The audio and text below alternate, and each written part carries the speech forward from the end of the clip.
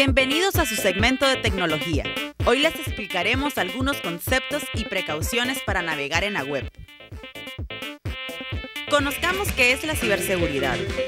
Se trata de prevenir los riesgos que toda persona o negocio pueda tener en la red.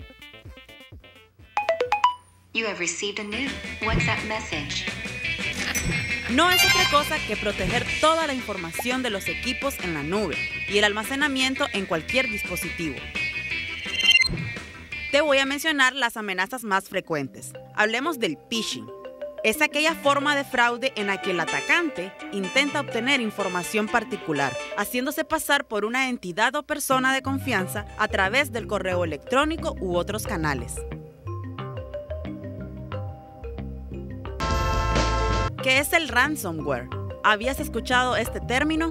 Es un programa informático malintencionado que infecta el sistema y restringe accesos a archivos. Piden dinero a cambio de quitar esta restricción. ¿Lo sabías?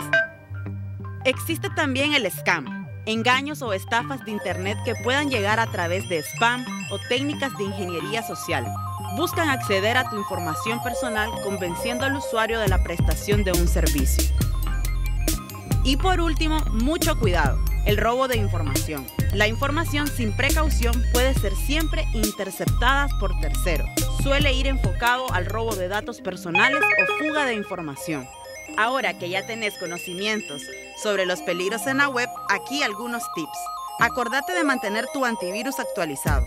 Revisa que las descargas y archivos adjuntos sean de un sitio web confiable. Siempre duda de los correos electrónicos desconocidos. Cambia tus contraseñas frecuentemente. Y por último, cerra sesión cada vez que desconectes el dispositivo en el que estabas navegando.